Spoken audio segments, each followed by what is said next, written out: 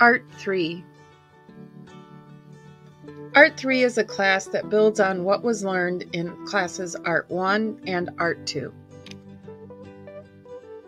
Both Arts 1 and 2 focused on the elements of art and the principles of design. In Art 3, the focus is on developing a well rounded portfolio. Students will continue to explore two dimensional and three dimensional work with the intention of finding their media of choice.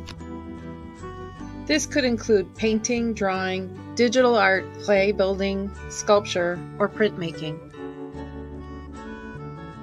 In order to take Art 3, you need to have completed Art 1 and Art 2. Art 3 will prepare the students for Art 4, the final class, which will follow a themed portfolio format. If you have questions about Art 3, please email me at pattykuropas at u-46.org.